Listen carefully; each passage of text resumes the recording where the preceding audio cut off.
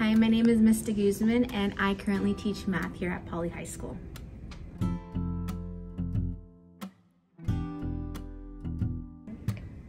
I graduated from John W. North High School.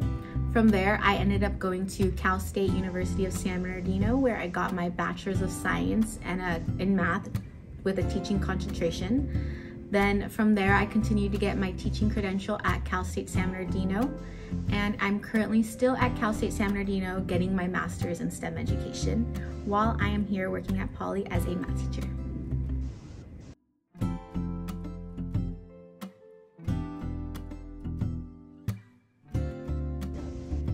I have loved math since from, from a very young age. I've always liked knowing the patterns.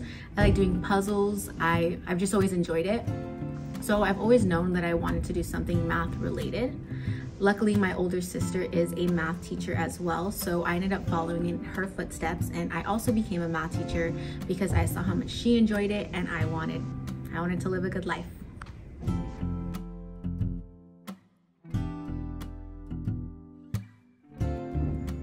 Something I would say to my younger self is to continue to live, laugh, and love, and to enjoy every day to its fullest.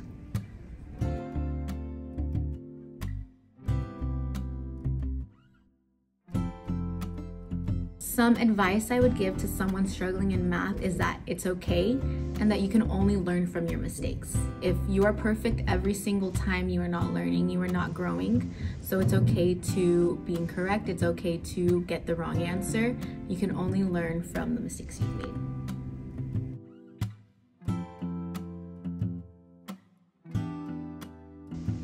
My favorite color is baby blue and my favorite food would have to be hot wings.